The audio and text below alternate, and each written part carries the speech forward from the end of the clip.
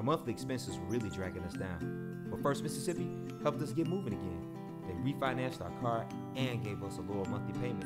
So now there's more cash at the end of the month for things we really need. And you know the great thing? If they couldn't help us, they were going to pay us $100. Now that's a real financial friend.